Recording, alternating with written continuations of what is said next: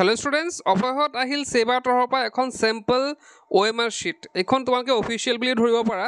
কাৰণ same to same তোমালোকেও এক্সামত দেখা পাবা এনেধৰণৰ অ' এম আৰ শ্বীট তো আমি আজিৰ ভিডিঅ'ত সেইটোকে ডিছকাছ কৰিব গৈ আছোঁ যে অ' এম আৰ শ্বীটখন কেনেকুৱা হ'ব তাত কি কি লিখিব লাগিব কি কি নালাগে আৰু তাত কি অলৰেডি লিখা থাকিব কি কি নিয়ম মানিব লাগিব গোটেইখিনি ডিটেইলছত ডিছকাছ কৰিব গৈ আছোঁ। তেন্তে ভিডিঅ'টো ষ্টাৰ্ট কৰোঁ।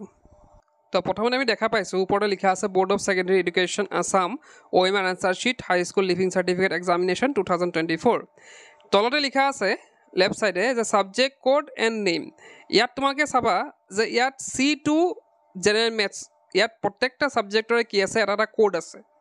হা তোমালোকে চাই ল'বা সেইটো এডমিটত লিখা থাকিব। তো ধৰা চি ওৱানটো বেলেগ এটা ছাবজেক্ট হ'ল চি টু যেনেকৈ ইয়াত জেনেৰেল মেথছ হ'ল চি থ্ৰীটো বেলেগ থাকিব চি ফ'ৰটো বেলেগ থাকিব। তো প্ৰত্যেকটা এক্সামতে কি থাকিব?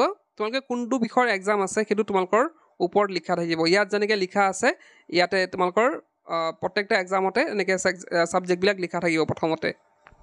তাৰপিছত আহিব তোমালোকৰ কেণ্ডিডেট কেণ্ডিডেটছ নেম মানে তোমালোকৰ নিজৰ নামটো ইয়াত উল্লেখ থাকিব। তাৰপিছত আহিব ৰোল ৰোল তোমালোকৰ কি হয়? এডমিটত তোমালোকে পাই যাবা সেইখিনি। বি টুৱেণ্টি ফ'ৰ আৰু কি আছে এইটো বি টুৱেণ্টি ফ'ৰ থাকিব প্ৰথমতে আৰু তাৰপিছত ৰোলটো তোমালোকৰ কি আছে চাই ল'বা। নাম্বাৰটো তোমালোকৰ থাকিব। প্ৰত্যেকৰে ৰোল আৰু নাম্বাৰটো বেলেগ থাকে সেইটো তোমালোকে এডমিটত পাব চাবা তোমালোকে। ৰেজিষ্ট্ৰেশ্যন নাম্বাৰ থাকিব ইয়াত তোমালোকৰ ৰেজিষ্ট্ৰেশ্যন কাৰ্ডতো চাব পাৰিবা নাম্বাৰটো বা তোমালোকৰ এডমিটত থাকিব ৰেজিষ্ট্ৰেশ্যন নাম্বাৰটো সেইটো ইয়াত লিখা থাকিব অলৰেডি একো কৰিব নালাগে।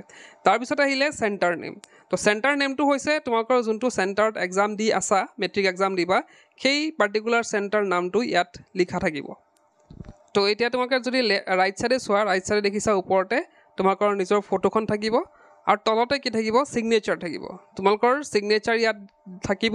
তোমালোকৰ সেইটো লৈছে অলৰেডি তোমালোকৰ পৰা ছিগনেচাৰৰ ফটো তো সেই ছিগনেচাৰৰ ফটো তোমালোকে ইয়াত দেখা পাবা ব্লেক এণ্ড হোৱাইট তাৰপিছত আমি তলত যদি চাওঁ তলতে দেখিছা তোমালোকে ইয়াত তোমালোকৰ ধৰা তিনি চাৰিটা অপশ্যন থাকিব তোমালোকে গম পাইছাই। এতিয়া ধৰি লোৱা নাম্বাৰ ওৱানটো ধৰিছোঁ যে নাম্বাৰ ওৱানৰ কুৱেশ্যনৰ আনচাৰটো হৈছে অপশ্যন নাম্বাৰ বি টু তো এতিয়া আমি কি কৰিব লাগিব? বি টু বাবল কৰিব লাগিব বা ফিল কৰিব লাগিব। তো তেনেকৈ ফিল কৰিলে হৈ যায়। ইয়াৰো কিছুমান নিয়ম আছে সেইখিনি আমি চাম বাৰু।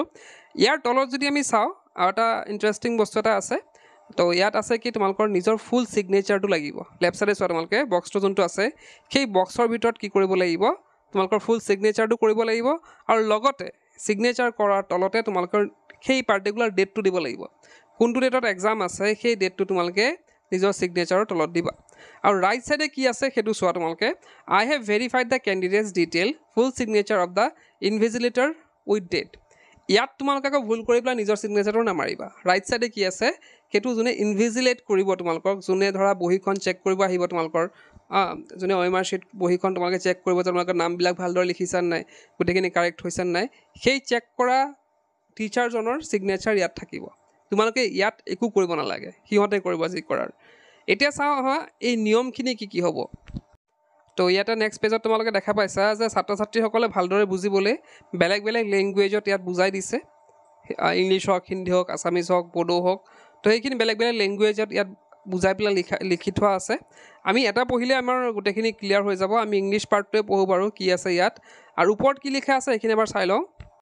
তো ওপৰতে দিছে ইয়াত যে attention before proceeding candidate must ensure that he she has received the correct O' M R sheet having his her name and roll number as per the admit card তো ইয়াতে এটা মানে ভাল কথা এটা লিখিছে যে তোমালোকে যেতিয়াই বহীখন তোমালোকক দিয়া হ'ব অ' এম আৰ শ্বিটৰ বহীখন তোমালোকে একদম প্ৰথমতে কি কৰিব লাগিব নিজৰ নামটো তোমালোকৰ admit card number registration number গোটেইখিনি মিলিছে নাই বা চেক কৰি চাই দিব দিছে।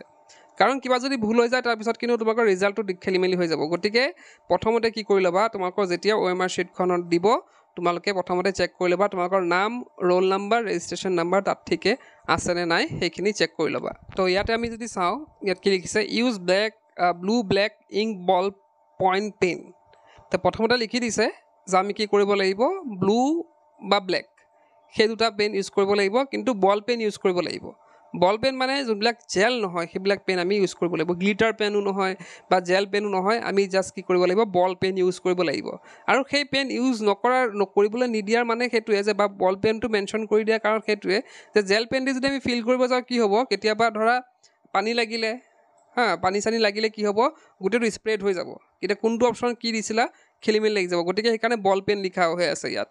Only to shade the appropriate circle completely তো এইখিনি কমপ্লিটলি শ্বেড কৰিব দিছে। Darken only one circle for answering each question to evaluate তো আমি কি কৰিব লাগিব? এটা চাৰ্কেল কৰিব দিছে। বহুতে দেখিছোঁ মই সমূহীয়া পৰীক্ষাটো। তেওঁলোকে এটা লাইনতে প্ৰথমতে কি কৰিছে? তেওঁলোকে ভুল উত্তৰটো দিছে তেওঁলোকে। ধৰা কুৱেশ্যনৰ আনচাৰটো হ'ব লাগিছিলে অপশ্যন নম্বৰ বিটো তেওঁলোকে প্ৰথমতে চিট দি দিছে। তাৰপিছত মনত পৰিছে যে তেওঁলোকৰ অপশ্যনটো কি হ'ব লাগিছিল বি হ'ব লাগিছিল। তেওঁলোকে পিছত কি কৰি থৈছে দুটাতে অপশ্যনতে তেওঁলোকে চাৰ্কেল কৰি থৈ আহিছে। তো সেইটো প্ৰচেছ ভুল হ'ব। সেইকাৰণে ইয়াত মেনশ্যন কৰিছে যে এটা ৰত আমি কি কৰিব লাগিব এটাই অপশ্যন ধৰা এ বি চি ডি আছে তাত মাত্ৰ আমি এটাতে চাৰ্কেল কৰিব লাগে। বাকী দুটা তিনিটাত যদি কৰা তোমালোকে সেইটো কেঞ্চেল হ'ব। তাৰপিছত দিছে darken the circle as shown in the example below' তো ইয়াতে কি দিছে যে কাৰেক্ট মেথড কেনেকুৱা হ'ব ইয়াত চাৰ্কেল কৰাৰ যে দেখিছা তোমালোকে কেনেকৈ চাৰ্কেল কৰিছে? ইয়াত গোটেইটো কি কৰিবলৈ বাবল কৰিব লাগিব বা গোটেইটো ফিল কৰিব লাগিব। আৰু যদি আমি চাওঁ কাৰেক্ট মেথডটো দেখিলে তোমালোকে ৰং মেথডটো চোৱা। বহুতে হয়তো তেনেকৈ কাৰেক্ট চিন দি থৈ আহিব পাৰে বা বহুতে ক্ৰছ চিন দি থৈ আহিব পাৰে বা আধা কোনোবাই ফিল কৰিব পাৰে। হা তো সেইটোকা নহ'ব গোটেইটো ফিল কৰিব লাগিব। ফ'ৰ নম্বৰ পইণ্টটো দিছে answer once darken is final no' changes is permitted তো তোমালোকক কি কৈছে যে যেতিয়া তোমালোকে ফাইনেল হ'বা যে সেইটোৱে আনচাৰ হ'ব কেতিয়াই মানে কি কৰিব দিছে চাৰ্কেল কৰিব দিছে।